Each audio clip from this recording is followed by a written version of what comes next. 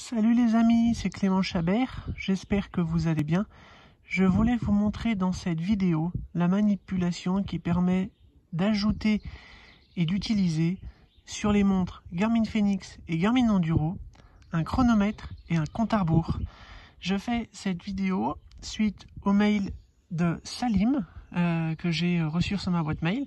Donc Salim, c'est un entraîneur euh, d'athlétisme dans un petit club des Vosges. Euh, Salim a une montre Garmin Fenix 6 Pro et dessus il ne trouvait pas de chronomètre. Alors comme il me dit, c'est vrai que pour une montre à ce prix-là, c'est embêtant, mais il n'y a pas de souci à se faire. Vous pouvez facilement rajouter un chronomètre et un compte à rebours sur les montres Garmin Fenix et Garmin Enduro. Alors, au niveau de votre montre, sur le côté gauche, vous faites un appui prolongé sur le bouton un appui prolongé de 2 petites secondes.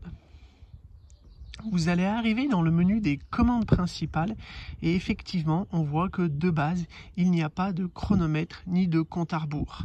Euh, et c'est vrai que c'est embêtant quelqu'un qui veut utiliser un chronomètre s'il est obligé de déclencher une activité physique et de mettre en route le GPS c'est un peu embêtant au niveau donc euh, du menu des commandes, euh, vous faites maintenant un appui prolongé sur le bouton du milieu côté gauche et vous allez dans la rubrique Ajouter des commandes. Et là, eh ben, c'est tout simple. Vous avez plusieurs commandes de disponibles et nous, on va venir rajouter le chronomètre.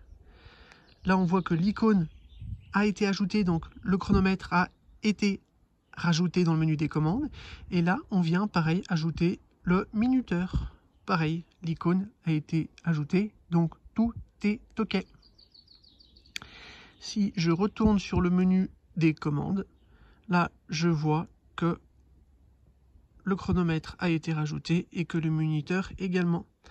Pour vous servir du chronomètre, c'est tout simple. Vous appuyez sur le bouton GPS.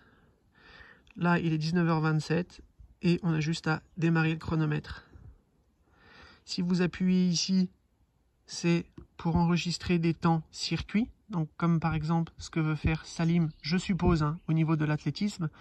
Par exemple, des personnes, qui, font du 30 secondes, 30 secondes ou qui font du fractionné, ben vous avez juste à appuyer sur le bouton circuit pour enregistrer des temps intermédiaires.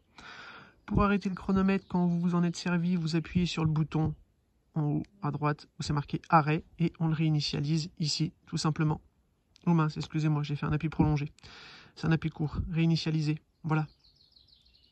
Si je fais back ici, je vais sortir du menu chronomètre. Et là, je peux désormais utiliser également mon minuteur.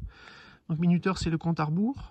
Donc bah, ça, c'est à vous de le régler hein, en fonction du compte à rebours que vous voulez. Bah, par exemple, alors c'est entièrement personnalisable. Hein. par exemple, si vous voulez mettre 4 minutes et je sais pas 52 secondes, ben voilà, 4 minutes 52 secondes.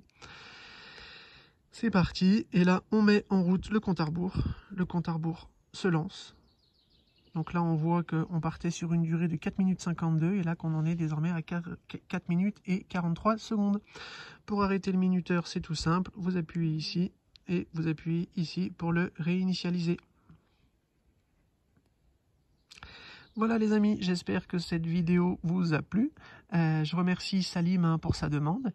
Et c'est vrai que c'est toujours intéressant parce que j'ai reçu ce mail et je me suis dit bah, je vais faire une vidéo pour Salim, mais je vais également en profiter pour mettre cette vidéo sur YouTube si jamais ça intéresse d'autres utilisateurs. Salut les amis et à bientôt